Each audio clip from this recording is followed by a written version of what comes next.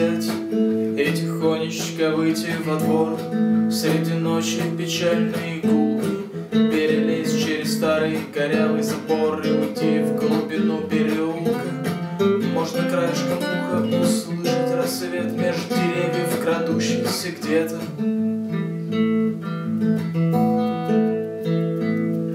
Паучков копошение в черной траве Шепот леющие сигареты И дыхание спящей безликой судьбы От которой мурашки по коже От которой из пней вырастают грибы Как гусарские шпаги из ножен Но которая так же, как ты, хороша И сошла бы тебе за невесту.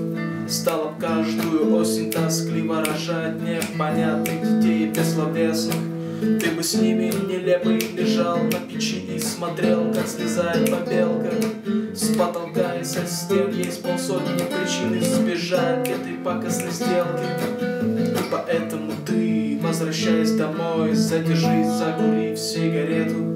Взгромоздись на забор, что-то тихое пой Наблюдая начало рассвета